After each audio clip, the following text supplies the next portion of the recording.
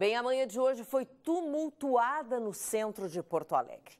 E a gente começa esta edição do Jornal da Pampa repercutindo essa informação. A Brigada Militar recolheu uma granada militar na região central. O artefato foi abandonado na calçada por um homem.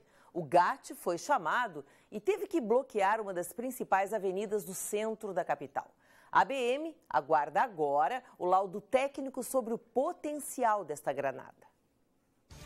O objeto foi deixado na calçada por um homem que teve a entrada barrada pelos seguranças de um bar noturno. Com medo de uma explosão, o grupo de ações táticas especiais isolou a área do centro próximo ao local onde estava o artefato suspeito. A operação bloqueou o trânsito na Avenida Salgado Filho, o que provocou congestionamentos. Os ônibus dos terminais tiveram que ser desviados. Por precaução, os pedestres também foram afastados.